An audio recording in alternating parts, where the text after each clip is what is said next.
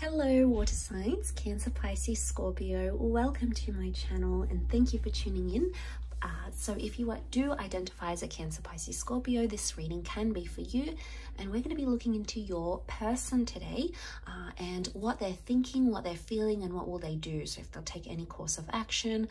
Um, I'll lay out about three different columns here, six cards, and we'll see what comes up in the reading. Um, but before I jump into it, I really want to say thank you for all your likes, shares, and subscribes, and of course for checking into my YouTube channel. It means so much to me, so I wanted to really thank you um, all for that lovely viewership and lovely support. Um, let's give the cards a good shuffle and, and kick off with what are they thinking? Okay, what's this person thinking?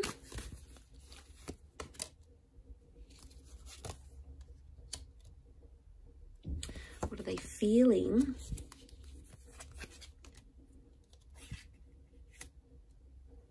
And what will they do?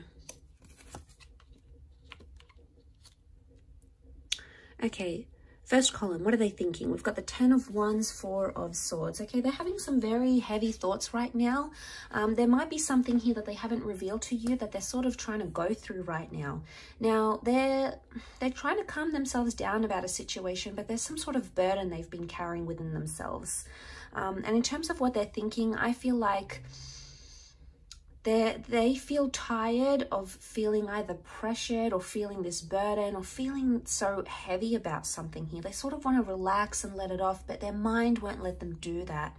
Now, I get a vibe that with the Four of Swords can indicate taking a break or an ending.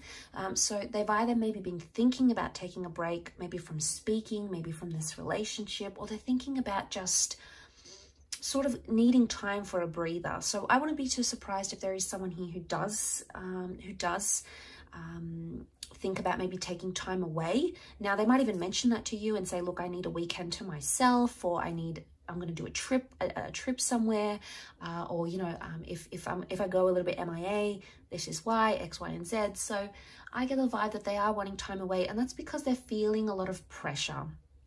And because it's a love related reading, I would sense that they're feeling a lot of heaviness. There is something here that they can't deal with very well, okay? Or that it, it, it makes, makes, makes them feel a bad way. Um, there, there may be a problem here, okay? That's, that's sort of consumed this person in their thoughts. Um, but the thing is, is that they still want to continue on with that heaviness. So even though they might need a break, that I, I, don't see like it's a um it's a complete separation maybe for a lot of you. I think it may be like a more temporary, um, a temporary thing, just so they can get their mind more clear and they can calm their mind because I'm sensing there's a lot of like a lot of activity. Um, and it's almost like they they may be feeling like they've ruined something here with you, or a part of them may feel like they've created more problems between the both of you somehow.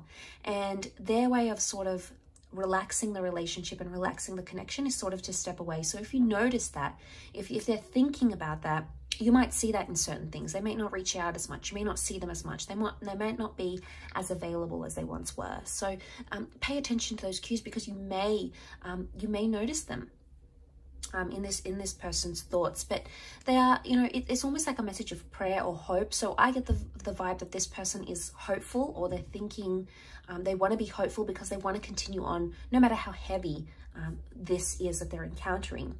Now in terms of how they're feeling next column three of cups knight of swords. Okay they're feeling rushed. They feel there's there's a, a sense of urgency they're feeling like they're on a time limit here somehow. Now, I don't know if some of you have given ultimatums to your person. Maybe they've given you ultimatums, but there's a message here that they feel something is very rushed or there's a countdown, okay? They, they feel they feel pressure is what I want to say, either within themselves or maybe from you. Um, there's an element of them feeling pressured. It's the card sitting underneath, so they may not necessarily say it outright. Um, they may cue you on a little bit about it, but I don't get a vibe that it's going to be um, it's going to be heaps. Um, what I want to say with the Three of Cups, can, it can be seen as a card of celebration and a card of friendship and enjoyment.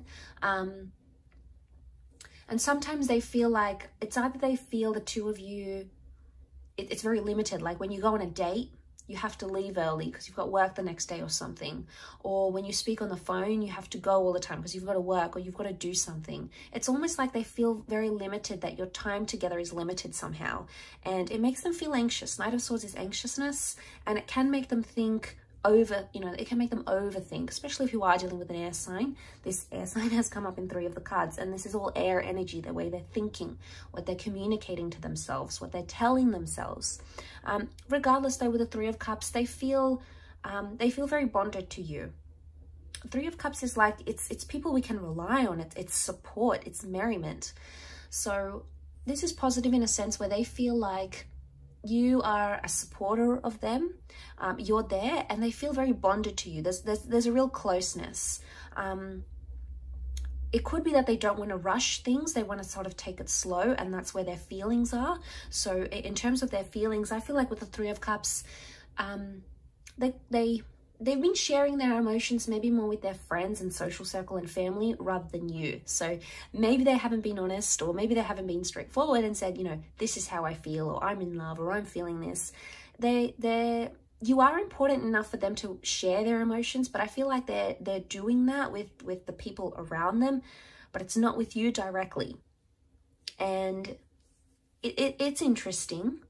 Um, I feel like I get a vibe that this person doesn't want to rush the friendship or maybe they feel like they might fall in love really quickly because you can see the horse. He sort of like looks back at the knight like warning him like you want to go this fast. So maybe they feel like, okay, they want to be in this friendship energy or they want to get to know you or connect with you more as a friend first, build the friendship, the love, the respect, all of those things before they come into something more. But I feel like they're trying to hold back here and, and not rush things um, that's what I'm getting. Now, in terms of the action they're going to take or what they're going to do, we've got the King of Cups, strong Pisces energy coming up here. Um, and then we've got the Seven of Swords. They're treading very lightly. Okay, so straight away, it could be a message of deceit or doing things behind your back. Okay, they may do something behind your back or they may do something and not tell you about it. Yes, Seven of Swords can be seen as a betrayal. Ultimately, we don't want you to get betrayed, water signs. Um, so keep things light where you can. And if there's you have a funny feeling about this person or about something that's going on, approach them, talk to them, you know, let out those emotions if you need to.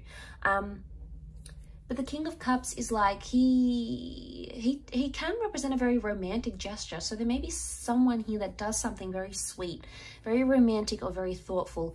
Do they have the right intention about it? I don't know. I feel like they may have an ulterior motive for doing that thing. They may want to get something out of you in return, um, or they're doing it to sort of test to see where your emotions are at. Because before maybe they reveal themselves, how they feel, they want to see how you feel first, so they don't embarrass themselves maybe.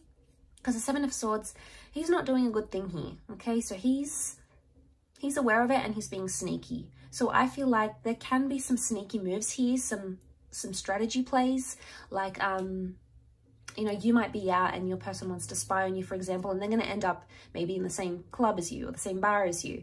Um, they may be testing your reaction. They may say something to see what you text back or what you write back. It could be that they're sort of sneaky, um, especially with the way that they're communicating. But, and again, if they do do this romantic gesture, um, because the King of Cups is like, you know, he floats, he's, he's cruising. So I get the sense that this person is sort of cruising along. But water signs, this could be you as the King of Cups.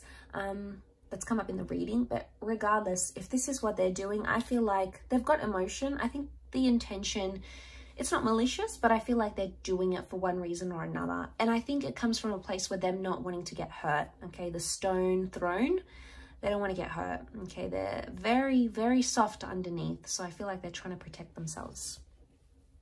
I'll leave it at that, water sign. So thank you again for tuning in. Don't forget to like, share and subscribe. And I'm sure we'll be in touch very, very soon. So take care and bye for now.